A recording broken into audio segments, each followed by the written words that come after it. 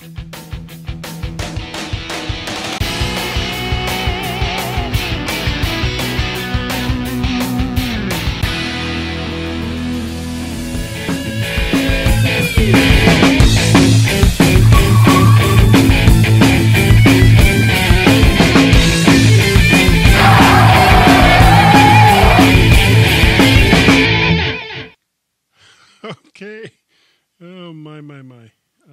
It is Mac to the Future number. What number are we at? Twenty seven. Yay updates. Boo.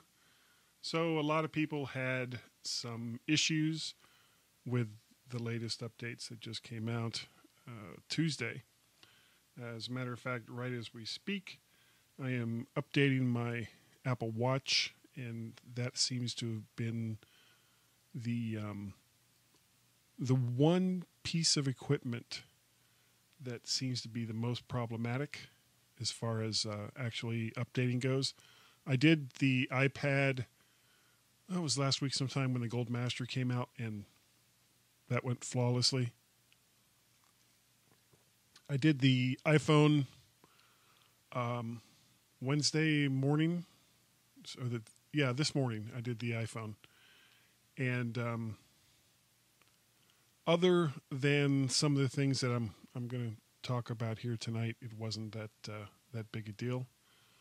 Uh, but for some people, it has been an issue. I know it's been an issue for some people right here in the Mac to the Future Facebook group, and um, we will we will talk about this. Uh, but before I do that, just so everybody knows who I am, I'm Guy Searle. I'm with the MTT FGO podcast.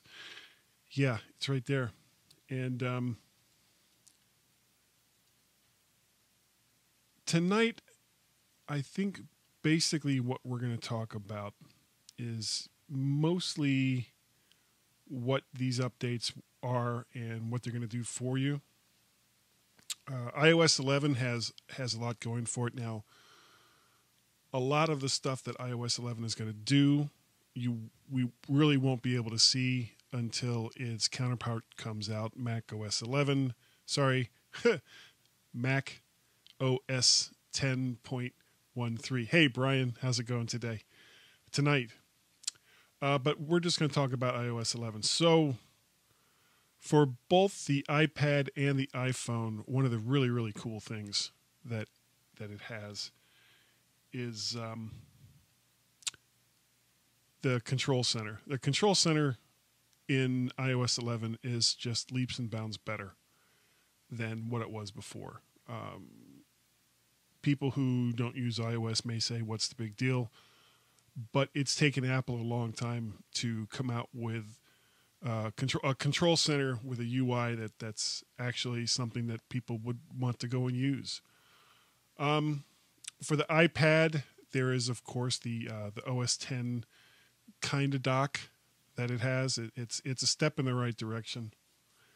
Uh, there's also a uh, Files app that supposedly lets you uh, open and drag stuff between documents, but it only kind of works or kind of works well on the iPad. I mean, there is a Files app on the phone, but pretty much all you can do with that is open up individual files uh, which in some ways is better because in what you had to do before, if if there was a document you wanted to open, number one, you had to know what application made that document, and then you'd have to open the app and assume that the app had the um, uh, like a link to that document, and yeah, it was it was it was a thing, and you know, not a whole lot of fun.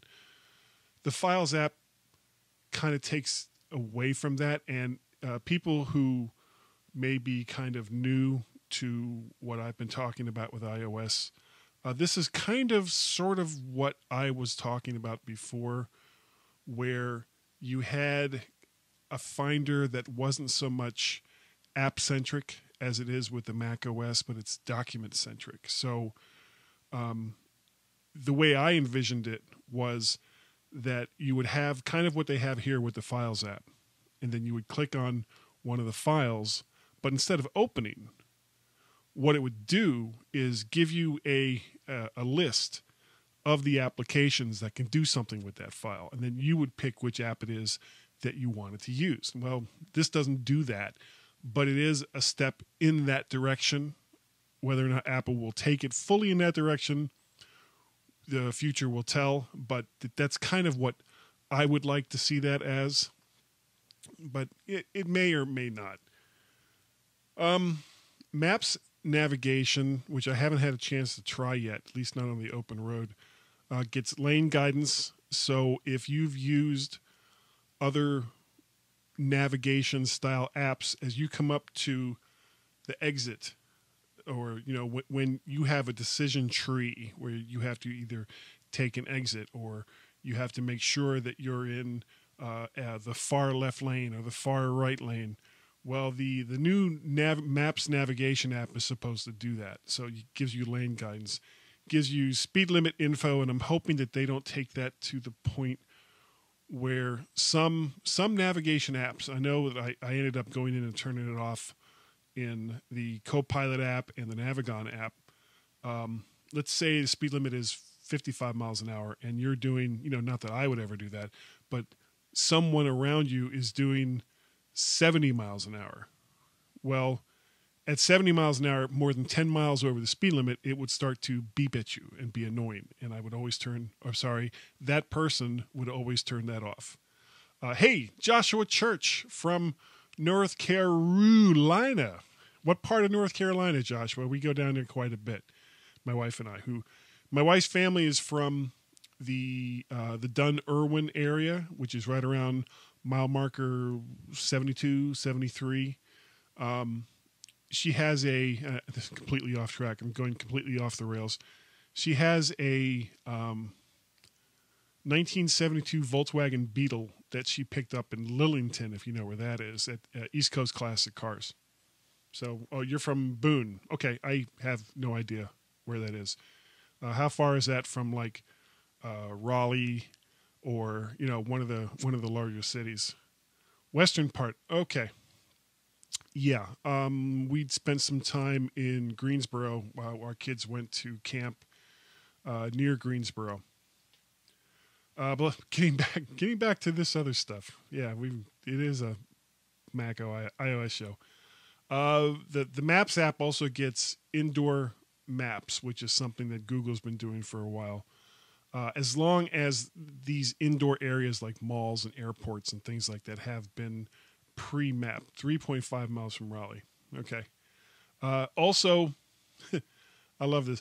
You know, and the more I think about this feature, the more I realize that that with as big a deal as they made of it, so few people will probably use it. It's the do not disturb feature, which is meant to kill kind of like messaging and stuff like that while driving. Uh, it's you know if they if it's worked out to where you know you have a controlled account with uh, your teenagers or whatever, and you can force them to use this. That's great. Otherwise, this will be the least used feature by teenagers uh, in the history of everything. Um, not here just yet, but one of the features that I think is really kind of cool is the person to person Apple Pay. So um, I walk up to Joshua and I owe Joshua $20 because he got me some barbecue at this like really great place and just kind of handed it off to me as my wife and I are are zooming up the highway.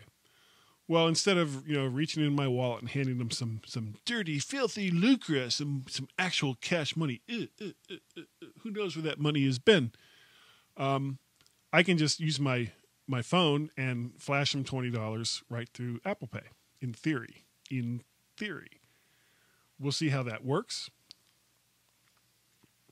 uh, it's also I also think that this is an this is an app with uh, the most potential most potential to be thoroughly abused. Um, this is the kind of application or the the kind of thing that will make you seriously consider having a very strong password on your phone and making sure that that nobody else knows what it is because if they can just they could just sit there all day long and send money to themselves. Now, of course, would they'd get busted for it, but you know, yeah, it's just not good.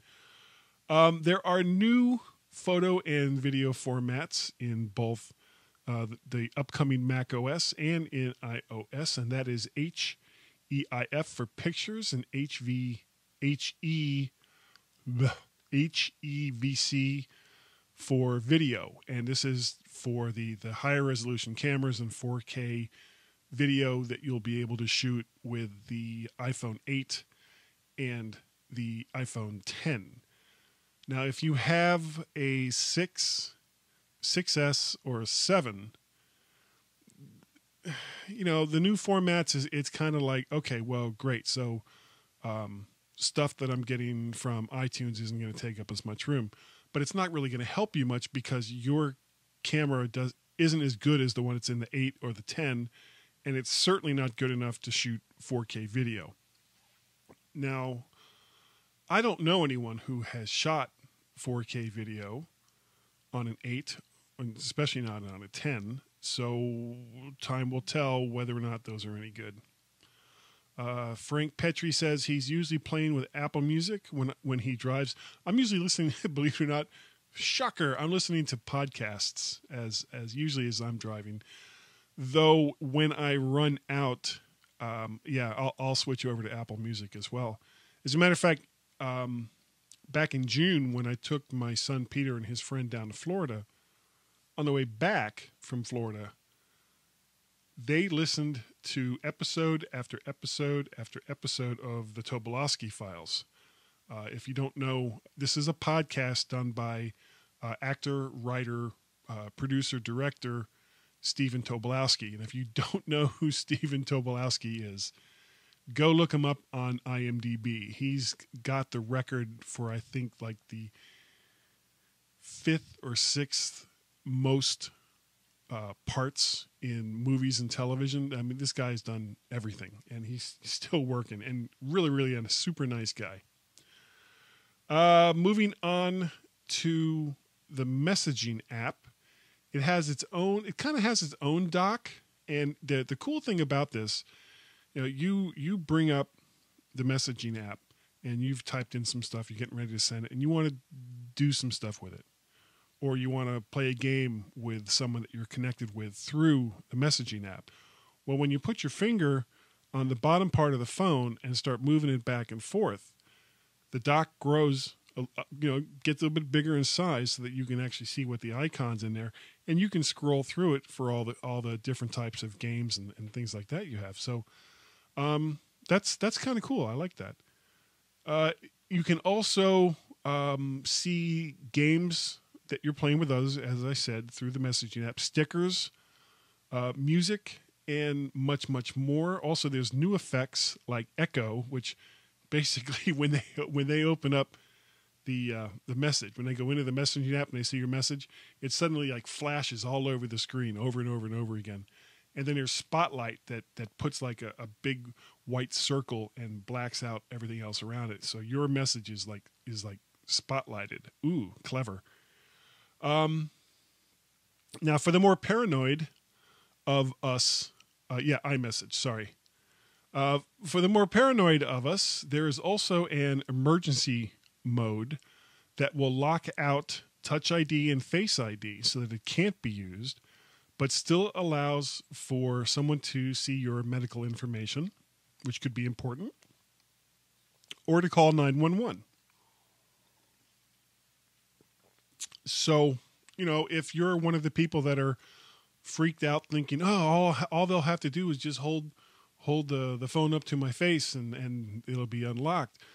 Okay, well, you know, with Touch ID, if they grabbed your hand and forced you to put your thumb or, or some, some other finger on it, that would have done the same thing. However, uh, if it if it's really that big of a deal, all you have to do is make it so that coming out of a locked state, you have to use your six-digit password. And you know, all right, it'll take an extra three seconds, three seconds to unlock your phone via uh, a six digit pin code and just holding it up to your face or, or using your thumb on Touch ID.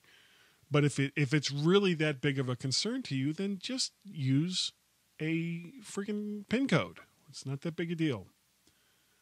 Um, this is kind of cool. Wi-Fi password share. So let's say that you know you're in your house and you've got a Wi-Fi network, and and being the the smart individual that you are, you have this ridiculously long password that, of course, you don't have to think about because it's it's baked into your computer and it's baked into your phone. So as soon as they start up, they see the network, they connect. Not a problem. But then you have other people come over. They want to use your Wi-Fi network. You know, they they want to check Facebook. They want to go to Instagram. They they want to see what the latest outrage is on CNN. So how do they do that? They have to go to your your Wi-Fi network. When you don't want to really give them your your password. You know, I mean, they just they don't need to know what the password is to your network. Well, with Wi-Fi password share, you can share your password without actually showing that password with another iOS device. So that's kind of cool. Uh, you can also save your favorite animated GIFs. Your favorite animated GIFs. Okay. Um, something that people, I guess some people have been asking for for a while. iOS 11 will finally, finally, finally, using the Photos app, scan QR codes if you find that important. Uh, something that is kind of cool. You'll you ha- also have now document scanning, and it's got I think it has some built-in OCR, so you'll be able to search based on some of the things that you see in that document. So the the Notes app is becoming much much more like Evernote than uh, what it was like before. Um, one really really cool thing that I've been seeing, and a lot of people were playing with that this morning when I got up, was you can now do super super easy screenshots and video screen captures in the uh, in the new control center. So easy. Um, Simon is asking me how how how what five X lock button? I I don't get it. You'll need to give me some more information there. Um, favorite animated GIF? Frank Petrie says favorite animated gifts. Truly an oxymoron. Yes, yes, it is. Um, as far as Siri goes, this now, now I, I haven't listed, and I'm not going to go into every single thing that iOS 11 brings to either the iPad or the iPhone. Uh, just some of the things that I've run across that that I think are kind of cool, and um, one of the things, oh, to scan. Uh, I believe all you have to do is, uh, I, I, think it's built into either the Notes app or the Camera app. Um, I haven't really played with it yet. I mean, this some of this stuff I've just read about online, and I do need to try it. But I I certainly like the idea of it. Um, as far as Siri goes, you can now let let's say you activate Siri and uh, you want to find out about all the movies that are playing at 5 p.m. But instead, you accidentally say 6 p.m. Well, in the past, what you'd have to do is start Siri again and and give her the new message and, and wait for all that to happen. Well, now you can actually edit, physically edit the text of what it was you were asking Siri, whether you typed it in or whether you spoke it, and Siri will accept the new message and come back with the probably more better results than what it was that you were looking for before.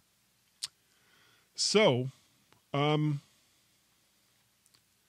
I think that's gonna about do it for uh, the iOS update. Uh, if there's anything in the iOS update that you would like me to talk about on a um, you know once I get a chance to actually try some of this other stuff. I mean, I just downloaded the thing into my phone today, this morning. Uh, let me know what it is through through the Mac to the Future Facebook page, and uh, we can talk about it right here. So, you know, all the different ways that you can get a hold of me, and I'll go over that at the end of the show. and we can talk about it there. boy, oh boy. Hmm. So, everybody, hold on to yourselves. And um, yeah, I think, uh, yeah, we'll be right back with a few other things. We're going to talk about the Watch OS. We're going to talk about the Apple TV OS. We're going to talk about the Safari update. Bunch more stuff to talk about in the show. So, everybody, hold on. I'll be right back.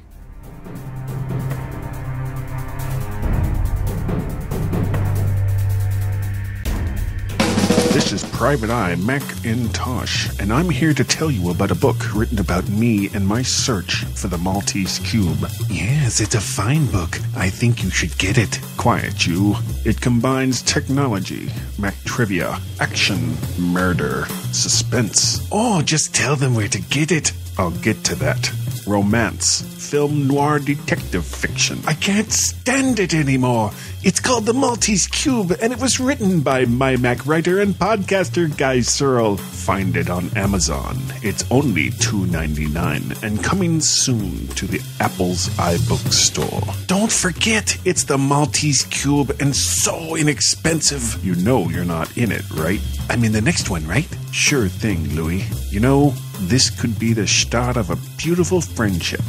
Get the Maltese Cube on Amazon and soon in the iBook store.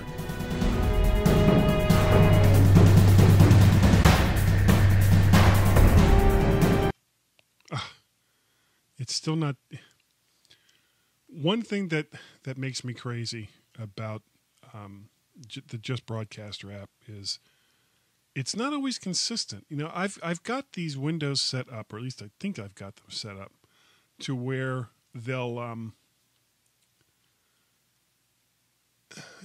give do do like a, a two to three second fade fade in fade out in between the windows and it doesn't always work. And i mean otherwise this is such such an easy to use and great app that uh, that i really really just wish it would it would be a little more consistent anyway um Oh, you know what I haven't done? I haven't done this. There we go. Okay, make sure that we get all the plugs in that we possibly can. All right, first thing we're going to talk about here. Now, I am currently doing the Watch OS update. So, a lot of this stuff, again, I haven't done. Um, my buddy at work, who actually sold me the Series 2 that I have, uh, was showing me some of this. Oh, stop it! It heard me say her voice, and and it, it kicked in. So uh, he was showing me some of this stuff today. Actually, before we start here, let's see. Uh, Joshua Church is talking about how to how to do a uh, I guess either the code uh, document scan or QR code it gives you a drop down to act on the link. Okay, I, so I guess Josh has tried that. That seems pretty cool. Um, Frank Petrie downloaded iOS 11 to his iPad Mini first. Uh, he wanted to know whether or not it would work for the uh, iPhone.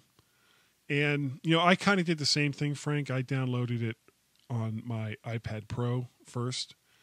And then, you know, I mean, I, and I do use my iPad Pro every single day but it's I don't have the same connection to it, and I don't use it nearly as much as I use my iPhone. So I was kind of the same way. Uh, I made sure before I put iOS 11 on my phone, I wanted to make sure it was going to work properly, and uh, so I had the Gold Master on the iPad, and yeah, it was fine, worked great. Uh, but as far as the Watch OS goes, there's now you know, because right now, when when you want to look at all the apps that you have on your watch, you you hit the crown, and then the the little display shows up with like this great big huge circle of all these little itty bitty tiny apps, and you you know when you got ham fingers like like I do, you can't really hit them, and yeah, it's a pain in the ass. Well, now for people like that who think that that's all a pain in the ass, there is a list view for the apps so you can get them in a nice alphabetic, alphabeticalized list and do it that way. And apparently, there is an app dock that you use the crown to scroll through for some of these apps as well. There's also Pixar watch faces because that's so important.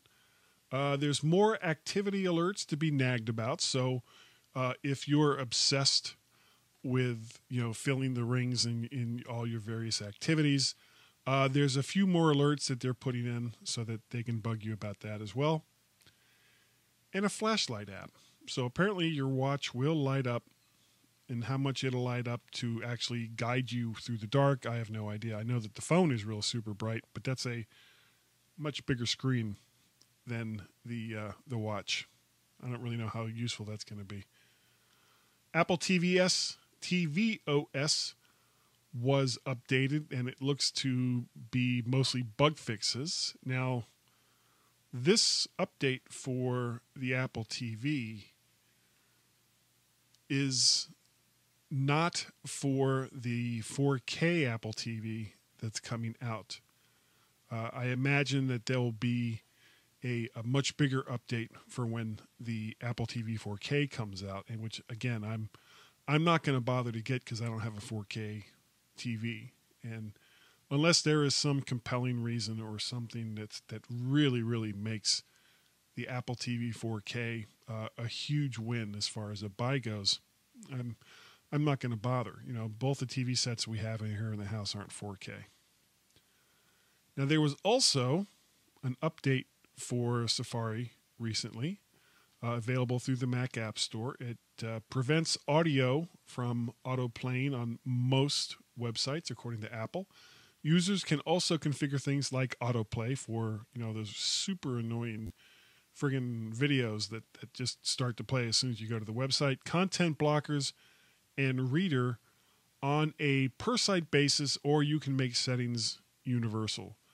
And I know that the ad agencies are less than pleased with the fact that Apple is uh, going to be blocking their auto tracking from site to site. You know, they, they throw a cookie when you when you visit a particular site, and then that cookie kind of follows you around to see where else you go.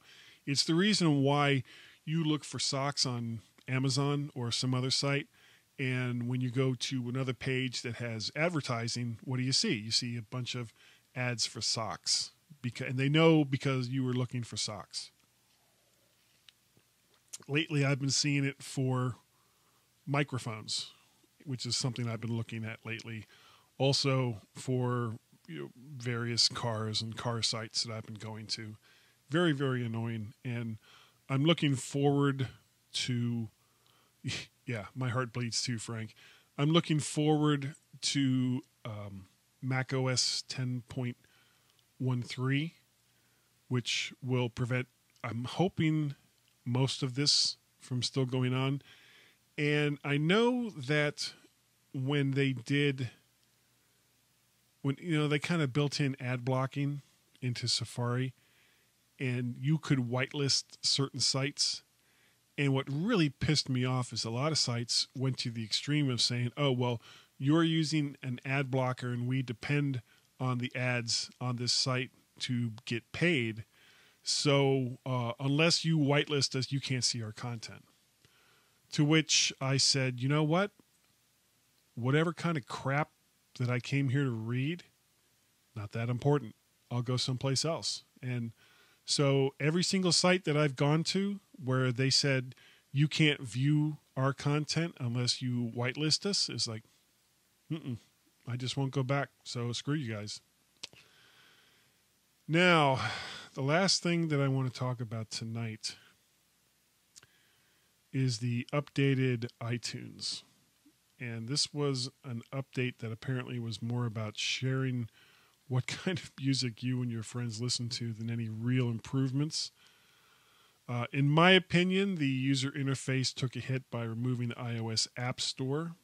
Uh, so if you were used to updating apps through the store or arranging all the screens on your iOS devices through iTunes, you can't do that anymore. The App Store isn't even in there. The only way you can look at new apps for iOS is to do it either through your phone or through um, through an iPad or some other iOS device. And this is this is just not good. Um, I mean, I hated iTunes bloat as much as anybody did.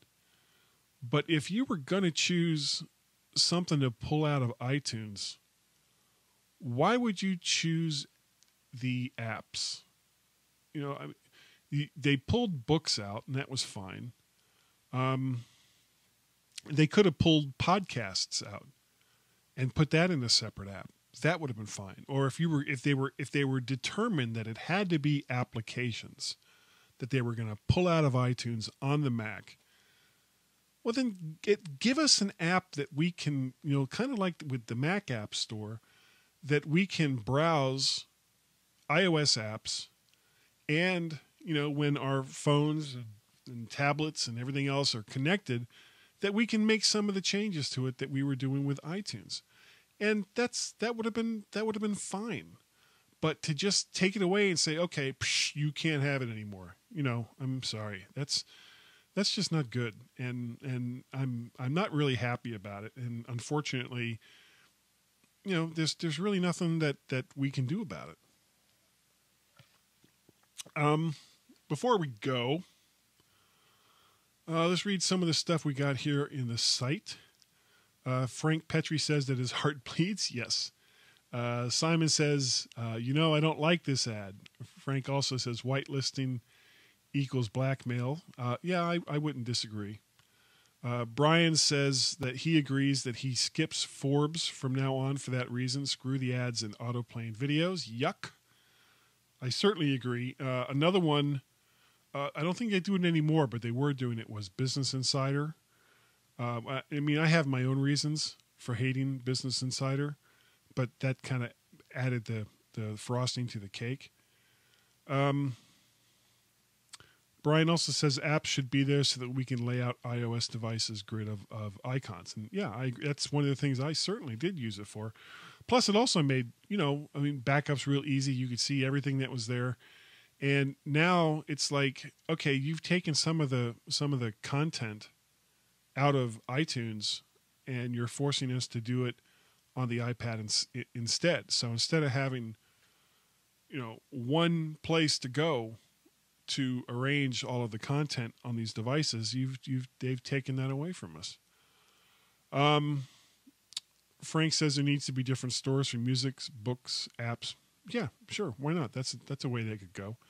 Podcast should be a separate Mac OS app.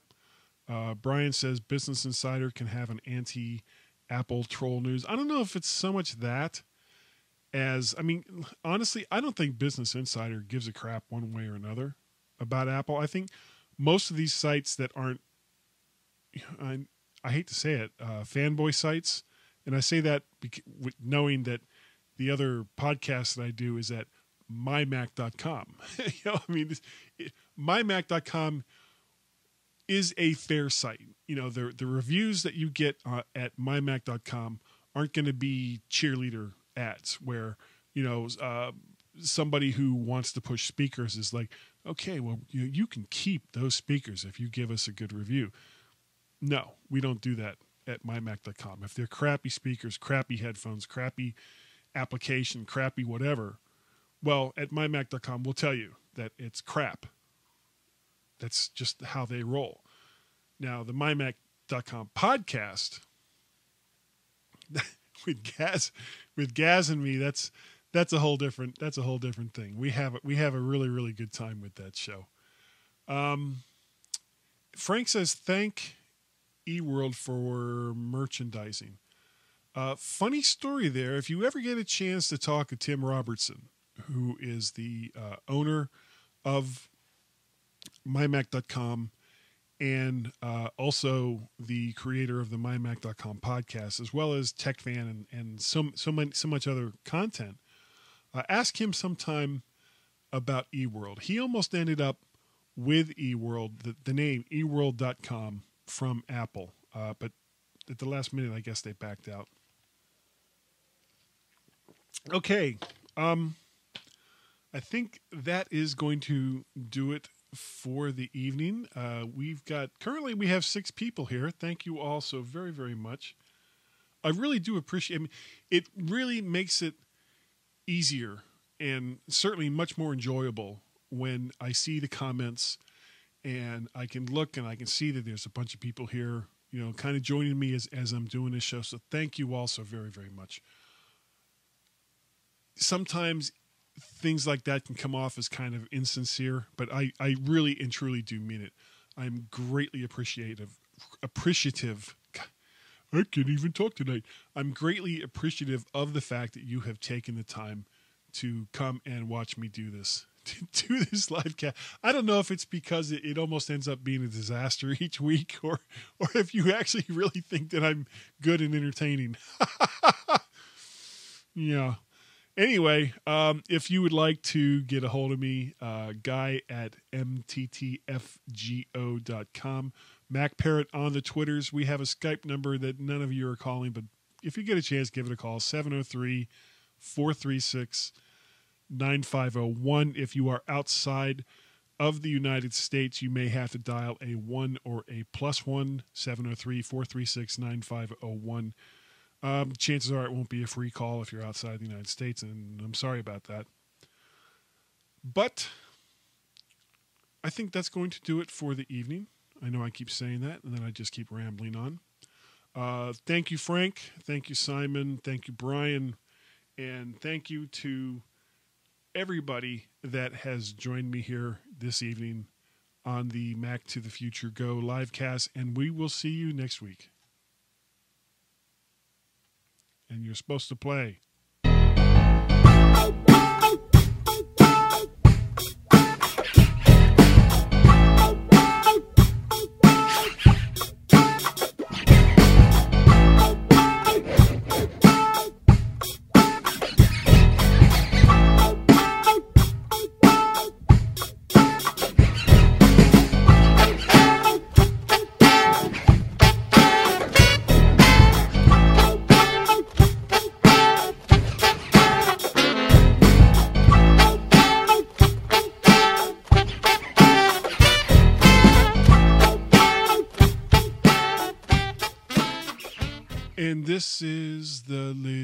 Bit that I play while I'm waiting for Facebook to finish with the last of the comment, not comments, the scrolly part at the very end. Yeah.